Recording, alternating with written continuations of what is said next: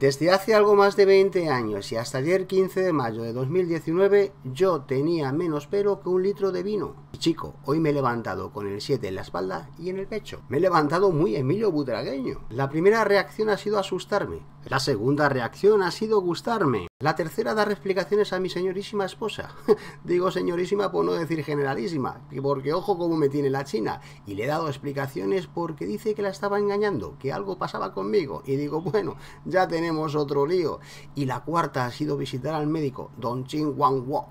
Don Chin Wang Wo me ha dicho que estoy estresado, que esto del crowdfunding crowdfunding, eso del ping-pong está pudiendo conmigo. Y es verdad, es muy estresante. Llevo un mes dando el jode, dando el jode a amigos, a compañeros fotógrafos, a familiares, a gente de mi alrededor, a revistas, a publicistas, he hecho marketing en los Estados Unidos, en Singapur, en Australia, en Taiwán, en Shanghai, hasta en Cien Pozuelos. He salido en los periódicos de Hong Kong, he salido en revistas digitales, he presentado mi trabajo en una feria ante más de 100 tíos que miraban mi jepeto, he tenido un programa de televisión, bueno, yo no era el presentador, yo era el presentado, pero estaba mi libro Ping Pong. Y chico, me falta como, como que al Real Madrid, como que hago las cosas medio bien, pero que no remato, que no meto gol.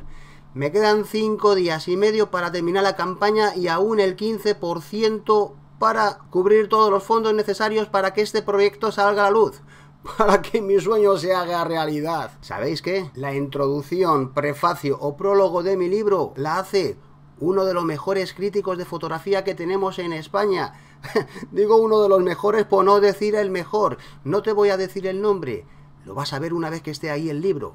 ¿Sabes lo que ha dicho esta persona? Este es el mejor. ¿Cómo lee la fotografía? ¿Cómo lee los proyectos de fotografía? Vaya un fenómeno. Lo que sabe este de este arte bonito que es la fotografía. De mi trabajo ping-pong, lo siguiente. Una mirada atrevida y algo gamberra pero interesada por la cruda humanidad de sus personajes y que denota la curiosidad incontenible de lo que, recordando a Sergio Larraín, podríamos definir como un verdadero cazador de milagros. Que este tipo me diga que yo soy un cazador de milagros por hacer fotografías con mi cámara es como si viene Diego Armando Maradona y te dice que tu zurda es mejor que la suya. Esto es más que un halago, y me halaga porque veo que las cosas se han hecho bien, porque veo que el proyecto de ping-pong es un proyectazo. Hay gente que me ha dicho, pero bueno Miguel, ¿y cómo haces un crowdfunding y no pones tú el dinero? Ojo, porque no lo tengo. Y bueno Miguel, es que la editorial no te pone ni un duro. No, no me pone ni un duro. La editorial se va a hacer cargo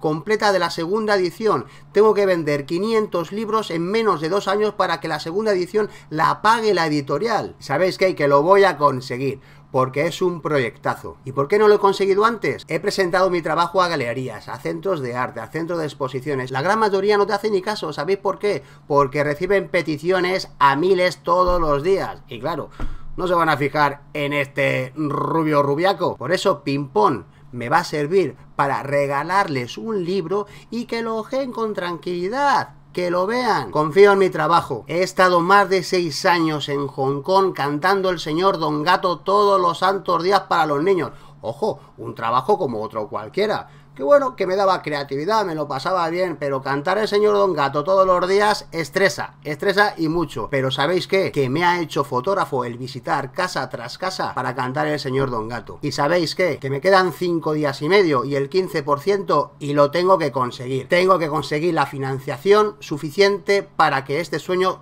se haga realidad. Pimpón tiene que estar en el mercado sí o sí y por eso te necesito a ti. Muchas gracias, nos vemos pronto y ya sabéis, ¡viva la fotografía!